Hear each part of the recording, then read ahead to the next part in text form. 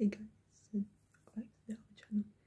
As you can tell, it's about games, and I'm just going to be doing um, games that me and him, and probably my boyfriend will play when he's a bit older, when he knows how to play games and stuff.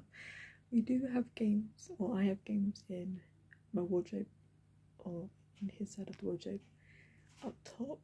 Um, I have so many games I think his favourite one will be Twister because that's like a children's classic.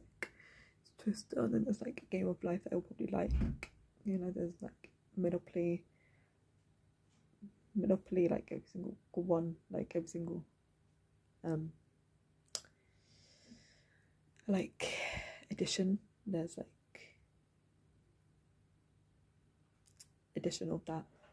So yeah, um he has a lot of options of games he can play when he's older with me and my boyfriend if I'm with him, but which I probably will be. But yeah, so he's asleep right now, and if you hear that, as my mum hoovering, like I said in the previous one.